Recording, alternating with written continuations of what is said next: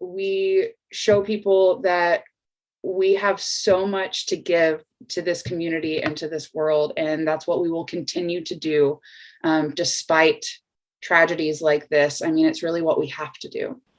The Club Q shooting sending shockwaves through LGBTQ plus communities across the country, including right here in Central Texas in the Brazos Valley. 25 News reporter Andrew Lamparski spoke to a local gay club, and they say that the shootings bring concerns about safety right here in Texas.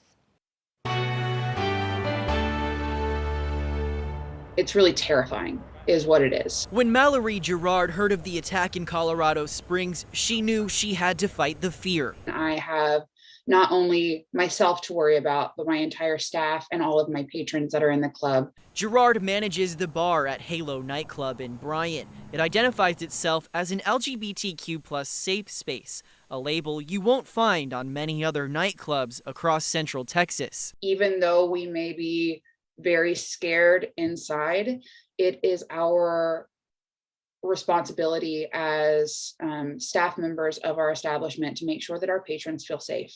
She says it's a conversation she's been having with her staff long before Saturday's shooting. They're constantly watching, they're constantly paying attention. The CEO of LGBTQ plus advocacy group GLAAD says gay bars and clubs have become less common since the pandemic, while threats of violence are on the rise. We are survivors and we're thrivers. So, as a community, we always come together and we lift each other up. Waco Pride Network writing in a Facebook post, quote, there are no words to properly express the emotions we are all going through.